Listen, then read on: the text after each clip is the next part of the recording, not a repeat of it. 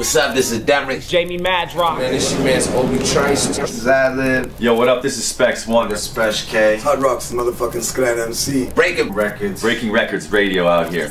This is Breaking Wreckords Radio. Check them out, man. All right, what's up? What's up? What's up? So now we're gonna get into it.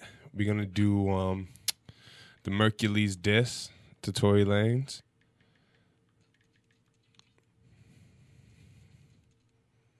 We're gonna do the Dream Doll diss Lanez, and we're gonna do the Merkules diss Lanez. So um, what do we want to go with first? Maybe we'll do the Dream Doll diss first, cause I, I haven't even I haven't heard this yet at all. okay. The whip head boy beat. Or sample. It sounds like the beat just sped up.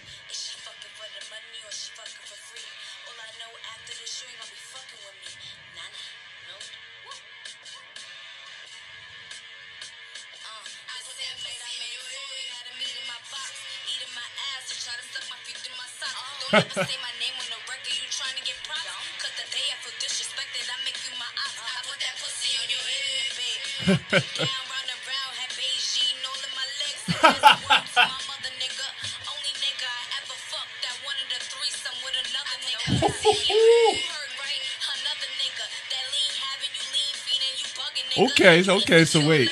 So she's saying he does lean. So Don, was it Don? Yeah, Don's saying he does coke. She's saying he does lean.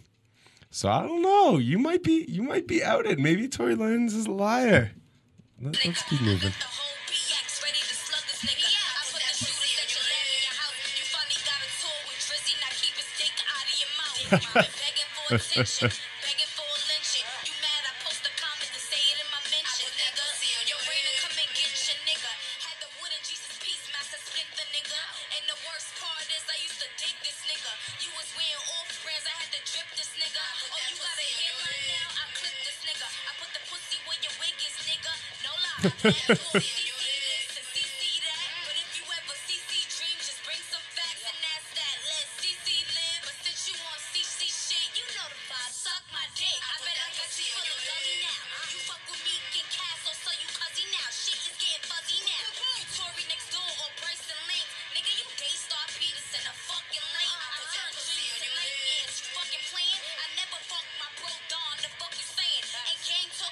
Okay.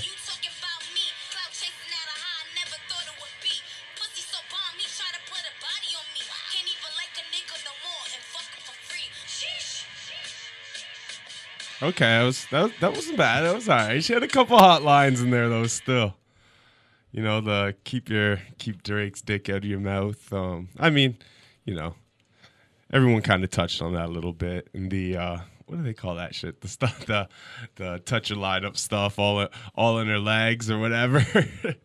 and the the only uh, the only dude I wanted to fuck that wanted to fuck me with another dude or whatever that shit was. That that was pretty crazy. So, all right, all right, all right. Dream Doll came with it.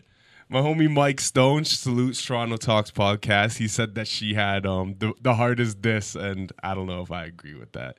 I think J.R. Writer might have had the hardest diss towards Tory, but I still think Tory might might be on the up with his diss. Um, Don Queen, I think, might be the dopest one yet. Still.